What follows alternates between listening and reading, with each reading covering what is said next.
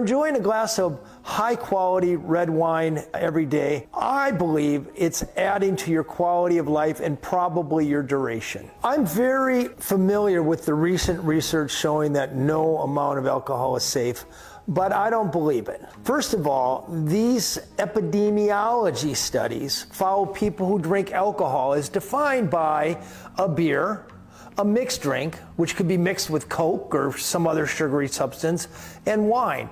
People in blue zones drink wine. And I've seen one survey that showed that people over 90, over 90% of them were drinking wine every single day. So 90% of people over 90 are drinking wine 90% of the time.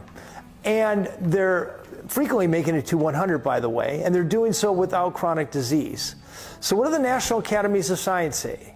The National Academies of Science say that if you're drinking alcohol, you're raising your chances of certain types of cancer, but you're actually lowering your cardiovascular mortality and you're lowering your overall mortality. That means people are drinking wine moderate amount, very moderate, one to two glasses a day, especially if it's red wine, they actually have higher life expectancy. So what should you do? I don't know. That's up to you. Certainly if you're not drinking now, don't start. But if you're enjoying a glass of high quality red wine every day, I believe it's adding to your quality of life. That video is exactly what people will say to you, say to themselves, or share if they actually can't quit alcohol. Those are people that are dependent on alcohol, whether they're alcoholics, whether they're dependent on it to be entertained, whether they're dependent on it emotionally. That is literally what people will tell you and tell themselves instead of the facts that yes, actually any amount of alcohol will increase your risk of cancer. Nope, it does not give you any heart health benefits. It does not give you antioxidants. It does not relax you.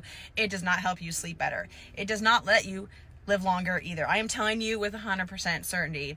And if you like, you can go below and read all the other information shared that they're leaving out. I'm telling you, this is a high I'm going to keep having you drink alcohol post so you don't have to feel bad about it. Notice how at the end he's like, you can do whatever you want to do. He's not even advising you.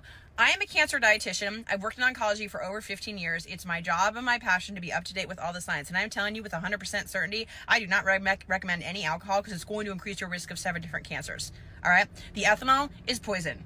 Stop feeling like, well, to have fun or to de stress or to celebrate, you have to have alcohol. Alcohol is not essential.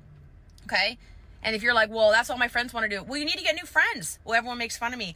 All right. Well, that's their problem. That's not on you. You're just improving your health by taking out alcohol. Posts like this just hold you back.